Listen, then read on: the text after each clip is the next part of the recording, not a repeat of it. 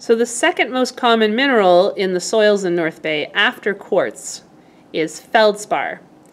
And feldspars come in very different groups. They all have these beautiful planes of cleavage, but then they have different colors and hardnesses based on whether they have sodium, calcium, or potassium at the front of that chemical structure.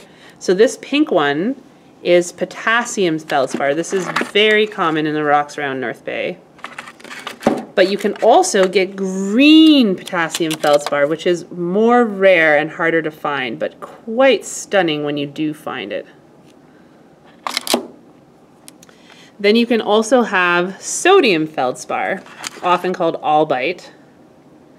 And it comes in a white, but also a greenish, oh, you can't really see, it is a greenish form of albite.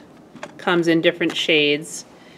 And then here's another sodium feldspar that's sort of in between. It's kind of bluish. So we've got white, blue, and green, but they're all sort of a grayish color.